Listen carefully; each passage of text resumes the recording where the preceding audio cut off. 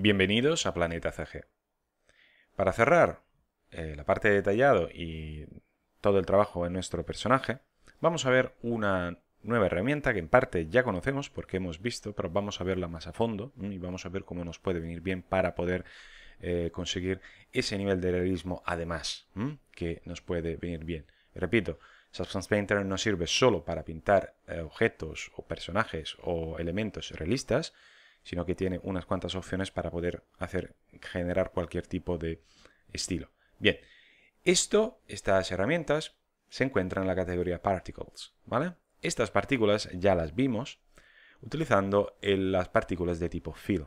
Y utilizamos esta simulación física de partículas encima de la superficie, que es lo que hacen estas, eh, estas herramientas, para simplificar, para hacer más rápido el relleno de algunas zonas de, nuestro, eh, de nuestras máscaras para nuestro cuerpo, ¿de acuerdo? Pues eh, en este vídeo lo que vamos a ver, vamos a verlo aquí en la cabeza, ¿vale? De hecho lo tengo seleccionado como texture set, ¿vale? Vamos a ver algunas cositas interesantes. Como habéis visto la cabeza, la he estado trabajando, he añadido un par de suciedades y bien. Vale, una cosa que me interesaría, por ejemplo, en el caso de la cabeza, en algunos puntos, como los enchufes, los tornillos así, es añadir algún tipo de detalle tipo de goteo, ¿no? Imaginaos algo de aceite, podría ser también algo de, humedad, de óxido debido a, bueno, al agua o elementos así. Yo de momento me voy a quedar con el aceite. Luego, bueno, estas son ideas que os dejo y luego cada uno las, puede, las puede implementar o no. Pues dentro de las carpetas de las capas de la cabeza, me voy a la carpeta del casco, porque voy a trabajar en el casco, ¿vale? Tengo la carpeta de detalles, la selecciono, más bien para, para, eh, para ponerla en evidencia, y luego voy a añadir una capa de relleno fill, ¿vale? Un fill layer. Y abro la carpeta de detalles y voy a hacer una cosa. Si yo arrastro esta, este, esta, capa encima de esta carpeta, automáticamente la capa se pone en último lugar. Eso es importante saberlo porque la verdad que es muy cómodo, como en este caso. ¿Por qué? Yo quiero, quiero que esté por debajo, ahora lo vamos a ver, porque quiero no estar afectando a estos materiales encima, ¿vale? Vamos a hacer también otra cosa. Vamos a crear una carpeta aquí dentro que vamos a llamar goteos y esta, esta capa la ponemos aquí dentro. Y esta capa le ponemos aceite porque va a ser un material de tipo aceite. Vamos a tener unos goteos de aceite. Le vamos a poner una black mask y luego vamos a tocar el material. Le quitamos height y normal, no queremos nada. Y nos vamos a, vamos a poner a reducir el roughness bastante, de modo que va a tener bastante brillo. Quiero un efecto algo mojado, algo bastante más bien, y un metallic bastante eh, elevado, 0,7, 0,8 por ahí. Eh, luego es probar. Y luego un color un bastante oscuro, que sea hacia los azules, así, algo por ahí, bien, ¿de acuerdo? Luego es esto, claramente siendo un fill se puede cambiar sin ningún problema. Activamos la máscara y claro, y ahora es cuando tenemos que decirle a Substance Painter dónde queremos que aparezcan estos goteos. Ahora, en la categoría Particles en el Shelf tenemos unos cuantos ejemplos. El fill ya lo conocemos, tenemos la posibilidad de, crear, de generar fracturas, impactos láser, eh, lluvia, efecto de lluvia, ¿vale? Y muchos más. Os aconsejo de estar probándoles, no los vamos a ver todos realmente, sino porque la mayor parte comparten eh, prácticamente parámetros que vamos a ver ahora. Lo que vamos a ver nosotros son los que se llaman leaks, ¿vale? Que tienen que ver efectivamente con lo que estamos buscando, goteos. ¿Por qué utilizamos esto? Bueno, porque vamos a aprovechar de algo que ya existe para luego modificarlo y si acaso guardarlo personalizado, como ya sabemos. ¿vale? Pues seleccionamos Leaks y automáticamente, como veis, aquí podemos hacer una prueba de lo que va pasando. Vale, pues las opciones del pincel son prácticamente las mismas, se reducen en realidad, la parte Size, Flow y Stroke Opacity se queda, Size Jitter y Flow Jitter se quedan, pero hay algunos que no. Y luego, como veis aquí, el Alignment ¿vale? Que me indica en función de qué se van a proyectar, en este caso se va a generar la simulación de partículas, está configurado en las coordenadas de mapeado. Esto nos puede venir bien o no, ¿vale? Yo en este caso lo voy a configurar desde el punto de vista de la cámara. Me gusta, prefiero, prefiero tener algo más de control y que no dependa de las UVs, que a lo mejor si no están las coordenadas de mapeado, si no están bien desplegadas o eh, bien con respecto a lo que vamos a hacer, pues no nos va a dar un, buen, resultado. ¿De acuerdo? Vale. Pues aquí Vamos a ponerle un backface culling a... No, lo vamos a dejar a off ahora mismo, ¿vale? Y ya está. No vamos a ver ningún parámetro, vamos a ver realmente qué es lo que van a hacer estas partículas. Pues fijaos, ¿cómo sé que este, esta capa se encuentra por debajo de enchufes y ribetes? Yo podría pintar encima de, este enchufe y no pasaría nada, ¿vale? Vamos a probarlo, ¿vale? Y hago esto. Simplemente es clic y arrastrar. Y claro, ¿qué es lo que estamos haciendo? ¿Veis? Estas manchas de aceite podría ser perfectamente. Perfecto. ¿Qué es lo que está pasando? Pues se van generando partículas a lo largo del recorrido que hago con mi pincel, en este caso o, lápiz de la tableta o ratón, ¿vale? Y se van generando. Ahora, me voy a quedar con control Z con la primera pincelada. Y la primera pincelada tiene algún detalle que no nos gusta, ¿vale? Tiene un par de detalles que no nos gustan. El primero es que, como veis, en ancho ocupan mucho espacio. Vuelvo a hacer control Z y vuelvo a hacer una pincelada. Voy a hacer simplemente una pincelada muy, muy pequeña, ¿vale? Y aún así, fijaos, he reducido un poco, pero aún así hay demasiado, ¿vale?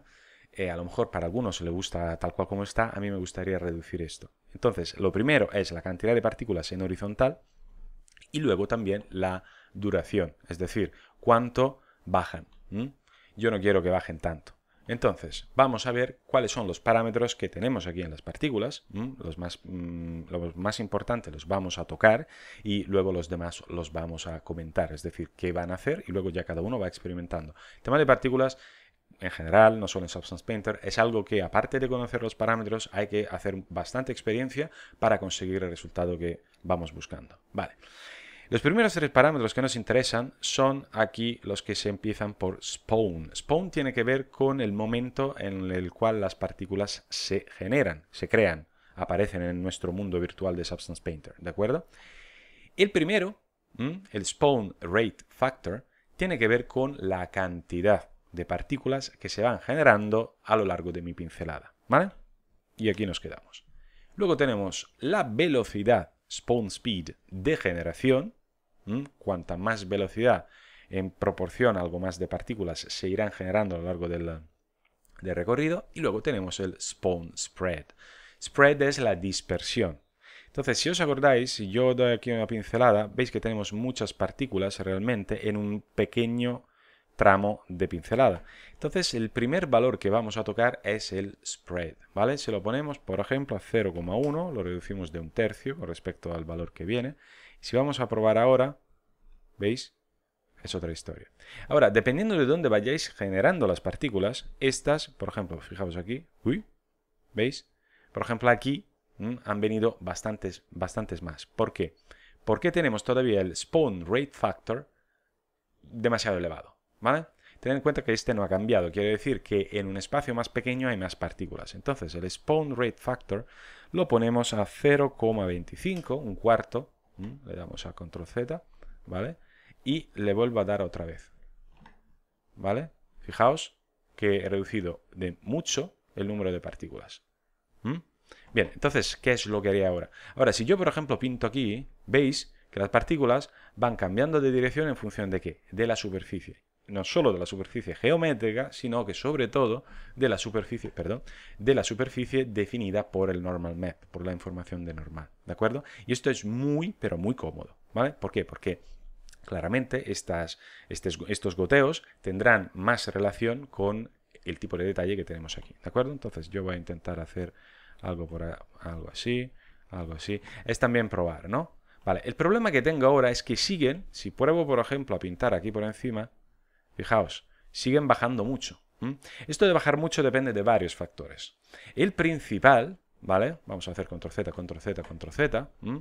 Ahora mismo estoy probando, ¿vale? Y esto es normal. Vamos a probar hasta que no consigamos el parámetro que nos interesa y luego si acaso lo vamos guardando. Lo que me interesa es lo siguiente. Yo hago una pincelada, ¿vale?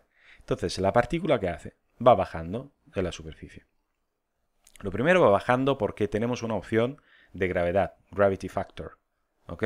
Está 1. Si le quitamos la gravedad, las partículas se van a quedar aquí en el sitio. La primera cosa. Segunda cosa, cuanto más vertical una superficie, más van bajando, ¿vale? Porque la gravedad les afecta más. Repito, esta es una simulación, ¿vale? Pero otra cosa es, muy importante, la duración, es decir, la vida de cada partícula. Y lo encontramos aquí abajo, ¿vale? Donde pone particle life y particle life rand. Particle life es, en concreto, cuánto tiempo desde que nacen van a quedarse en, digamos, en la simulación las partículas. En este caso, uno. Un segundo, pongamos esto. Particle life rand lo que permite es tener prácticamente un valor que me dice cuánto, cuánta variación queremos de la vida de cada partícula. Es decir, si yo tuviera este parámetro a cero, todas las partículas, vamos a probarlo, ¿vale? ¿Veis? Llegan todas al mismo, al mismo punto. ¿Por qué? Porque todas tienen la misma duración de vida, 1. Por otra parte, si yo le pongo, en este caso lo vuelvo a poner a 0,5, que era su parámetro original, el Particle Life Rand lo que hace es, cuanto más alto este valor, ¿vale? Más diferencia de forma casual van a ver mm, las vidas de cada partícula, ¿de acuerdo? Y esto es muy importante porque, para, porque algunas durarán menos, algunas durarán más. ¿De acuerdo? Bien, entonces lo que vamos a hacer ahora es realmente reducir la vida, el tiempo de vida a la mitad, 0,5. Bueno, que si yo ahora le doy una pincelada, fijaos que dura menos. Ahora bien, lo que pasa es que claro, que como tengo también el Particle Life Rand eh, activado, hay algunas que duran muy muy poco. Si no me gusta esto, pues lo puedo reducir un poco Vuelvo a dar una pincelada y bueno, se ve afectado un poco más. Esto es claramente jugar con él. Ahora, con este, con esto de que las partículas van bajando menos, pues si voy pintando aquí, bueno, tengo que tener cuidado, tengo que hacer alguna prueba, ¿vale? Por ejemplo, ahora mismo duran demasiado poco, pues le pongo 0,7 de vida y ahí, ¿de acuerdo? Y voy generando los goteos que me interesan. No me tengo tampoco que pasar mucho, o bueno, por lo menos yo no me quiero eh, pasar mucho. Por ejemplo, estos goteos los podemos aplicar también a estos ribetes que tenemos aquí. Ahora, estos ribetes, por ejemplo, si yo me pondría, me, intentar hacerlo como hago ahora, pues esto es exagerado, ¿no? Entonces, ¿qué pasaría? Pues pasaría que tendríamos que cambiar parámetros. ¿Mm?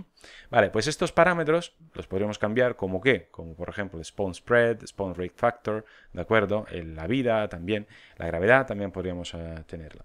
Eh, lo que pasa es que, claro, esto, en cuanto volvamos a seleccionar nuestro pincel Leaks, estos parámetros vuelven a ser los anteriores, los que vienen por defecto. Entonces, lo que podemos hacer es botón derecho, Brush Preset. Y nos quedamos con esto porque esto es lo que nos gusta. Esto es aplicar lo que ya hemos visto. ¿De acuerdo? Vale. Ahora, otra cosa eh, que, vamos a ver son algunos parámetros aquí que son curiosos, ¿vale? Eh, tenemos también el que se llama Global Wind, ¿vale? En este caso está cero. Es una fuerza, en este caso, que podemos aplicar, un viento si queréis, y podemos aplicarlo en los varios ejes. Ahora mismo, imaginaos que yo lo pongo a 1 a tope en Z. Si voy, voy a poner la vida otra vez a 1, ¿vale? Las partículas. Eh, en Z quiere decir en horizontal, en este caso. Eh, vamos a ver si yo pinto qué pasa. ¿Veis? Entonces, claro, tenemos una fuerza que nos que junto con la gravedad nos empuja la gravedad hacia abajo y el viento hacia, hacia la izquierda en este caso, lo podríamos poner a menos uno y sería hacia la derecha y podemos conseguir varios tipos de, eh, de efectos. Pongamos, por ejemplo, que le pongo el viento hacia arriba, porque la I en este caso es hacia arriba, y la Z. Vamos a ver qué pasa. ¿Veis? con el viento hacia arriba contrarrestamos la gravedad. ¿De acuerdo? Entonces estos, como veis, son unos... Uy, perdón. Le he dado al tab sin querer y he hecho desaparecer todo, todos mis paneles. ¿De acuerdo? Vale. Luego tenemos más, más opciones como Generate Velocity en Velocity Rand. Esto es prácticamente lo que te permite, en este caso está cero, pero es, repito, si queréis, si os interesa, os queréis y probáis. Eso tiene que ver con em, la posibilidad que las partículas puedan heredar en parte la velocidad debida al eh, recorrido, digamos, a nuestra pincelada, ¿de acuerdo? Y aquí el RAND lo que nos permite es evitar que todas las partículas tengan el mismo tipo, hereden el mismo, la misma velocidad, entonces haya esas variaciones, ¿no? Es el mismo principio que el Particle Life Rand.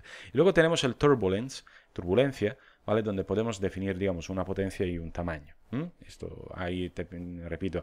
Una cosa muy interesante de esto es que muchas de estas mm, opciones son las que luego van generando estos efectos aquí. Entonces, lo que os aconsejo es ir probando estos, sobre todo ir viendo sus parámetros.